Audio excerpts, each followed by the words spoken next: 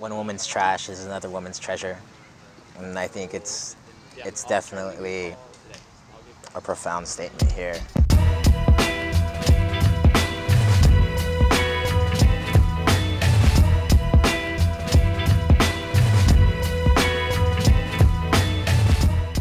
A really, really free market is kind of a really safe space for the community to get together and exchange goods without any need for monetary exchange.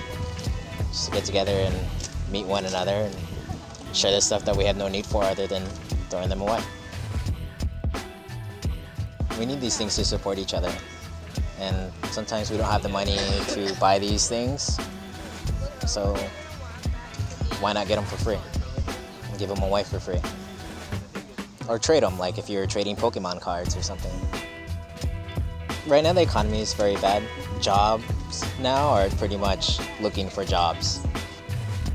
For me personally, the greatest thing about the free market is the amount of clothing that's being given away for free.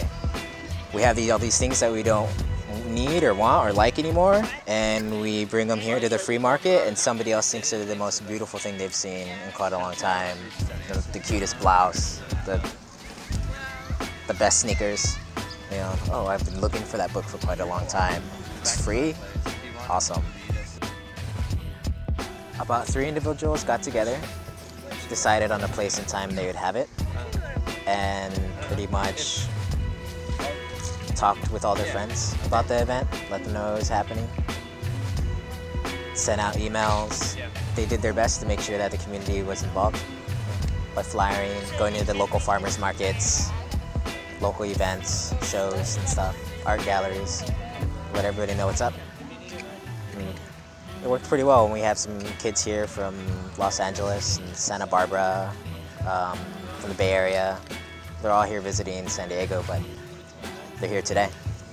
The organizing here seems to making it a lot easier for the space to be clean, pretty much leave no trace behind that we were ever here. Leave this, uh, all the local parks nice and beautiful.